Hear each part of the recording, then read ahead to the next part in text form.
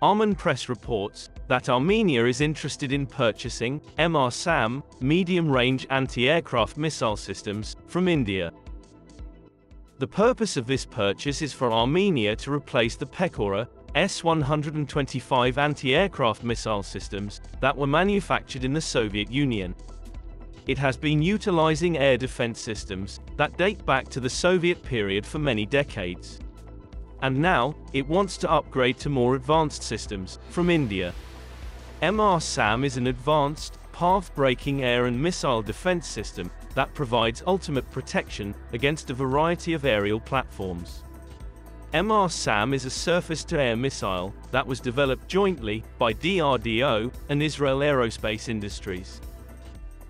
The Indian Air Force, the Indian Army Force, the Indian Navy, and the Israeli Defense Forces all make use of it.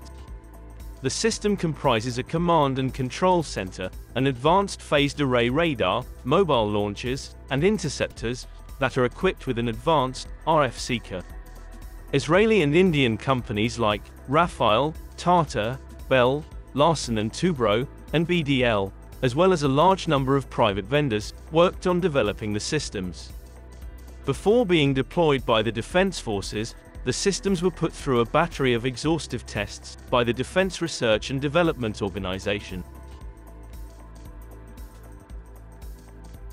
Russia cannot assist Armenia militarily at this time because it is currently at war with Ukraine. However, Russia remained the most significant peacemaker in the Armenia-Azerbaijan war. After Azerbaijan won the war in 2020, Russian troops were dispatched to the contested Nagorno-Karabakh region to maintain peace. On the other hand, the West is back in the peace talks and getting closer to being the main mediator, pushing Russia out. Russia's inaction as a security ally of Armenia, and the refusal of the Collective Security Treaty Organization, of which Armenia is a member, to use collective defense during the recent military clash on the Armenian-Azerbaijani border, seemed to mark a turning point for Armenian society. The public conversation is now dominated by the idea that Armenia should rethink its security policy. For the first time, Armenia's political leaders have publicly questioned whether the country's membership in the CSTO can still be seen as a serious security guarantee. Armenia's prime minister also said that his country would not host military drills for the Russian-led Collective Security Treaty Organization alliance in 2023. Armenians have been persistent in their search for new and improved weaponry, and so far, India has responded to their efforts by promising to supply them with ammunition, missiles, and rockets. Additionally, Armenia has signed a deal worth multiple millions of dollars to acquire Pinaka multi-barrel rocket systems, which were used during the Kargil conflict that was fought between India and Pakistan. Several unconfirmed reports also say that Armenia is interested in getting its Su-30 fighters upgraded and its pilots trained from India. In 2019, Russia sold four Su-30s to Armenia. The Armenian flankers were missing important weapons, especially guided air-to-ground missiles. If these jets had fired unguided missiles into the fight, they would have lost and made little or no progress. India could make a big difference in how well Armenian planes work. The Indian Su-30 MKI is different from other flankers because it is a beautiful combination of weapons, sensors, and electronics from all over the world. The missiles include a version of India's BrahMos supersonic air-launched cruise missile, which gives the Su-30 MKI are important countermeasures, and the Astra air-to-air beyond visual range missile, among others. So, Armenia can ask India for help, and systems to improve the four flankers it already has, so that they can be useful if it goes to war with Azerbaijan again, which is still a possibility. Seeing the growing defense ties between India and Armenia, the president of Azerbaijan was shocked when the Indian government decided to give deadly weapons worth 2,000 crores to Armenia. Azerbaijan's president, Ilham Aliyev has said that no matter what weapons are given to Armenia, they will not be able to save it. Why? India must support Armenia. If we look at the relationship between India and Azerbaijan, we can see that they have friendly relations and growing bilateral cooperation. However, Azerbaijan and its ally, Turkey, have supported Pakistan on the Kashmir issue.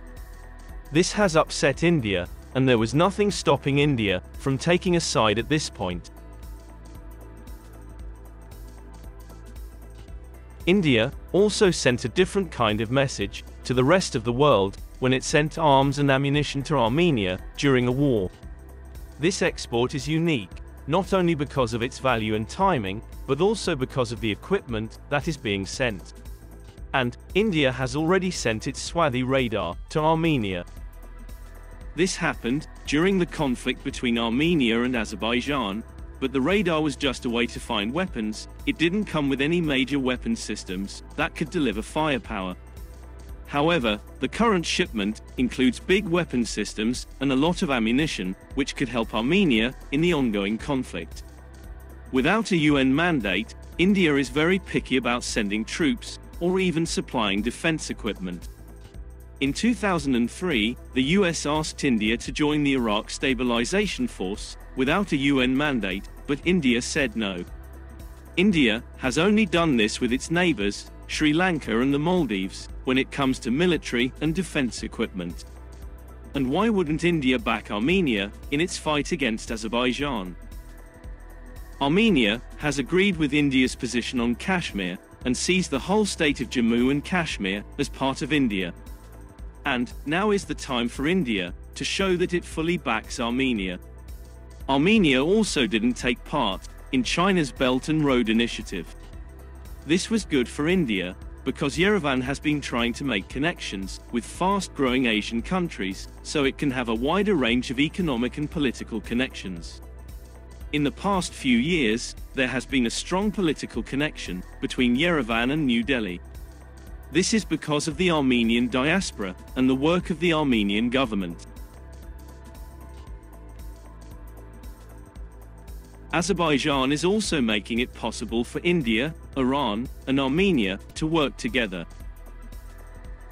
The hostility toward Azerbaijan comes from the 1990s, when Azerbaijan accused Iran of helping Armenia in the First Nagorno-Karabakh War, even though the Iranian government said it helped Azerbaijan. Since the 2020 Karabakh War, in which Azerbaijan took back the Armenian majority enclave it had controlled for 20 years, Azerbaijan has been stepping up its efforts to get back other areas it thinks were historically its. Turkey has also been helpful. Their weapons, drones, and military advisors helped Azerbaijan win the 2020 war. After the war, the border between Iran and Azerbaijan was made up of some friendly Armenian land. A year later, Baku held military exercises with newly found pals Turkey and Pakistan. Iran is home to a large number of Azeris.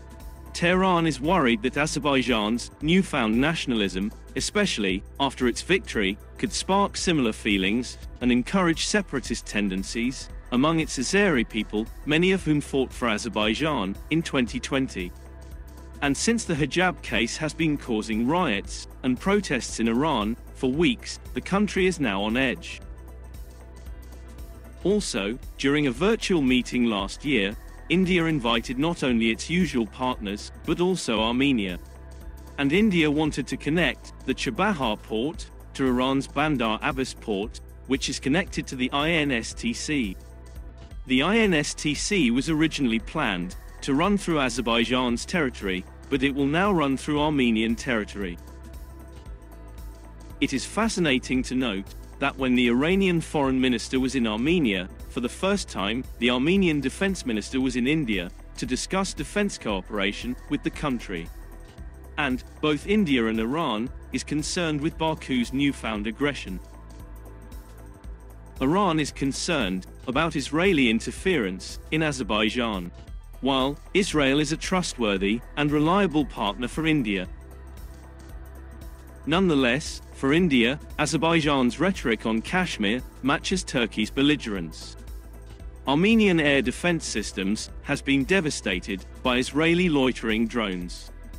Iran, which has helped Russia with cost-effective drones, could do the same for Armenia by supplying locally made combat drones and loitering munitions. This would give Armenian forces a limited ability to deter other countries, especially Azerbaijan.